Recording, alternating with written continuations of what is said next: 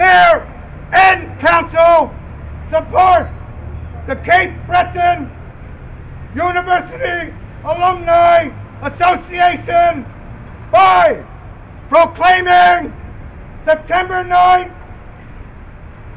in the year of our Lord 2013 CBU Alumni Day. We all stand proud Vitality with endurance. Own the orange.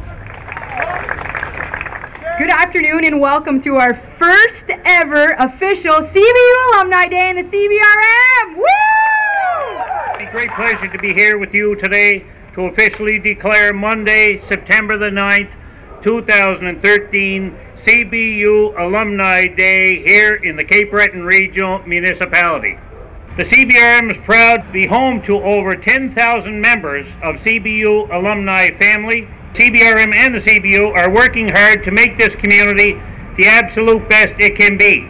And by the looks of things today, we are succeeding. I hope everyone has a wonderfully beautiful orange day. Uh, we benefit enormously from the commitment of this community to Cape Breton University.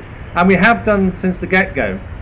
Uh, we will never forget that this university uh, emerged out of the struggles and the commitments of many, many people in this community. And although we are now a global university with students from all over the world, uh, and nearly a third of our students uh, from uh, around 30 countries around the world, uh, we will never ever forget uh, that this university grew out of this community and therefore we have a sacred duty to put back into this community.